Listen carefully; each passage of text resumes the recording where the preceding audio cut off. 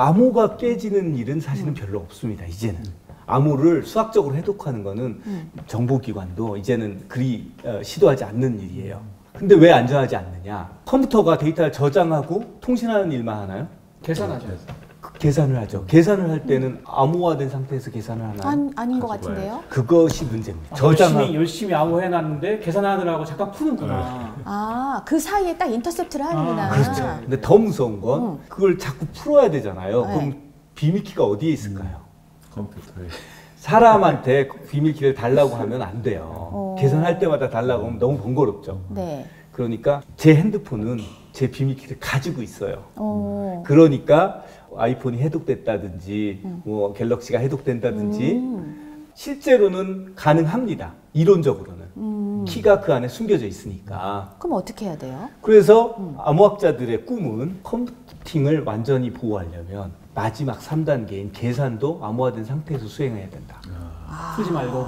풀지 말고, 풀지 말고. 제가 네. 아까 진행자님의 아이디어를 좀 살려보겠습니다. 네. 무인 택배야? 무인 택배함을 얘기를 했죠. 네. 거기 한 사람이 더 등장을 해요. 일을 해주는 사람. 음. 자, 제가 레고 블럭을 주문을 했어요. 무인 택배함에 들어 있습니다. 음. 근데 어, 저 어떤 일꾼을 시켜서 그 레고 블럭을 조립하고 싶어요. 그 안에 넣어 있는 상태로? 네. 헐? 제 레고는 참고로 금으로 만들어졌거든요. 비싸. 다이아몬드도 좀 있고요. 아, 로망이네요. 헐. 네. 보통 레고 다 그렇지 않아요? 그래가지고요. 네. 그거를 조립하는데 지켜봐야 되고 걱정이 되는 거예요. 네. 그럼 어떻게 하느냐면 무인 택배함 상자를 조금 가죽으로 말랑말랑한 걸로 만들어요. 어. 그래서 아. 바깥에서 그거를 손을 넣어서 조립을 하는 겁니다. 꺼내갈 수는 없는데 손을 넣어서 일은 할 수 있단 말이죠. 네, 일은 할 수 있고요. 눈에 보이기도 해요. 그러면 계, 자 계산이 다 끝나면 이제 레고 블록으로 뭐 자동차가 만들어져요. 그러면 누가 가져갈 수 있나요? 저는 지켜보지 않아도 돼요. 만들어진 다음에 가서 열어보면 열어서 꺼내면 되죠. 컴퓨터로 말랑말랑하게 만들어요?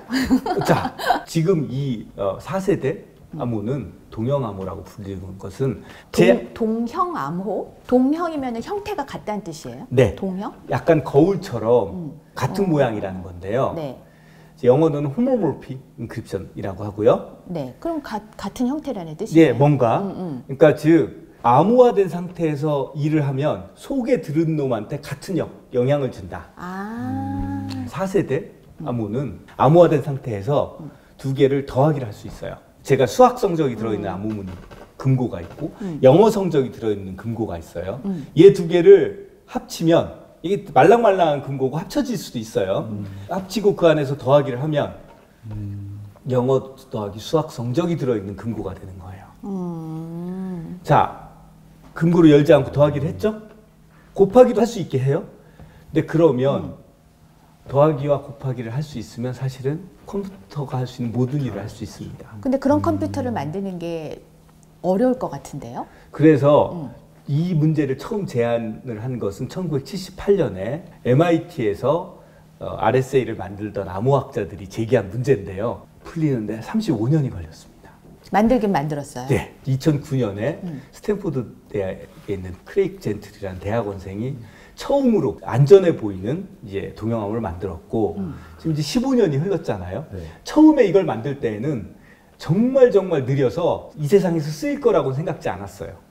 그런데 15년 동안 이게 급속도로 발전을 해서 이제는 이제 쓰일 수 있는 단계에 이르렀습니다. 그러니까 이게. 가장 최신의 버전의 암호인 거예요. 그렇죠. 그죠. 네. 이 환자들이 이제 데이터가 다 이제 개인정보가 있기 때문에 암호화를 하는데요. 그거 가지고 우리가 deep learning 같은 거 해가지고 뭐 이게 새로운 치료법을 개발하고 이런 걸 하는데 잠깐 풀어야 되잖아요. deep learning 하려면 뭐 풀어서 데이터 거기다가 돌려야 되는데 그 과정에서 개인정보가 다 노출되기 때문에 함부로 deep learning을 못, 못 돌린다고 하는데 이걸 그냥 암호화된 상태에서 이제 deep learning 돌려도 되는 거예요. 연산이 보존되니까. 음. 그러니까 여기서 돌리고 나중에 이제 최종적으로 개인에게 통보하거나 할 때만 푸는 거예요. 그러니까 지금 deep learning이라고 하시면 이제 인공지능을 똑똑하게 만들게 하기 위해서 이제 인공지능이 여러 여기저기서 막 데이터를 가지고 학습을 하는 걸 deep learning이라고 하는 걸로 알고 있는데 그 동형 암호가 인공지능이 학습하는 데도 활용된다는 그런 말씀을 지금 암호화된 해주신 상태로 거죠? 그러니까 푸는 단계가 최소화되니까 해커의 개입을 최소화할 수 있는 거죠. 음. 제가 어, 사례를 하나 간단한 걸 준비해 왔는데요. 네. 저런 사진을 주고 물어보는 거죠.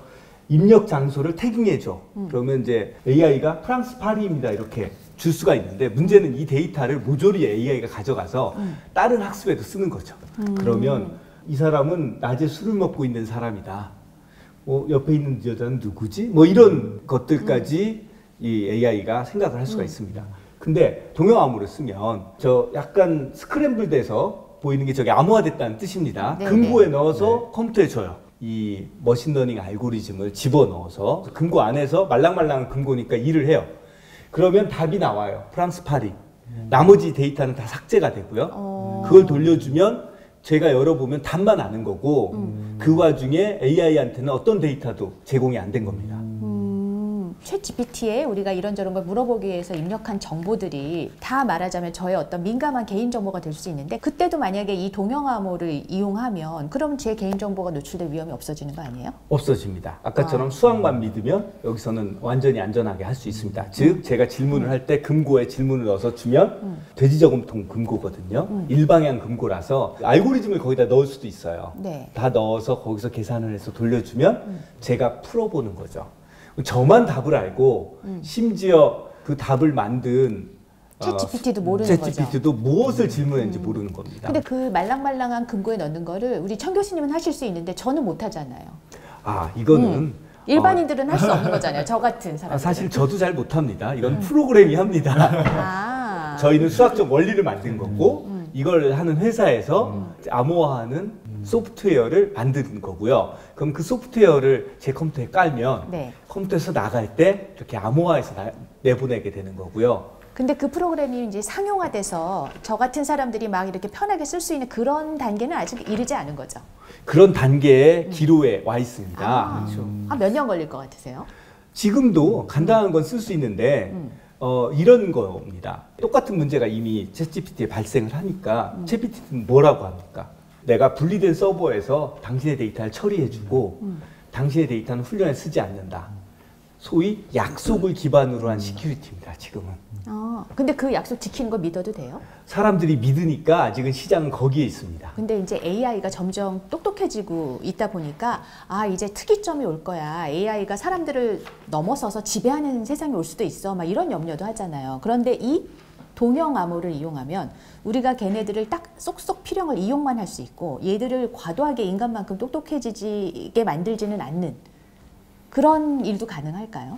네, 소위 제어가 가능하게 되는 거죠. AI가. 저희가 지금 예측이라고 하는 인퍼런스를 말씀드렸는데 이 경우는 제 질문을 보호하는 거라 사람들이 뭐 그렇게까지 심각한 거야. 뭐 믿지. 뭐 믿으면 되지 않아 하겠지만 좀 더 중요한 것이 지금 말씀하신 대로 훈련 데이터를 보호하는 겁니다. 자, 예를 들어서 우리나라 국민건강보험이 방대한 데이터를 가지고 있는데요. 얘를 훈련을 하는데 쓰면 제 데이터를 실제로 다 가져가는 거거든요.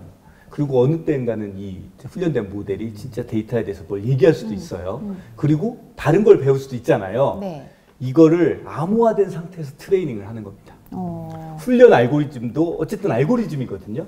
그러니까 훈련된 알고리즘을 이 금고에다가 넣으면 금고 안에 들어있는 데이터들을 활용을 해서 모델을 만드는데 이제 금고 안에는 모델만 남게 된 다음에 열어보는 거죠. 이렇게 되면 어떤 AI를 우리가 트레이닝 할지 정한 다음에 훈련용 데이터를 다른 데다 쓰는 것은 허용 안 할 수 있는 겁니다.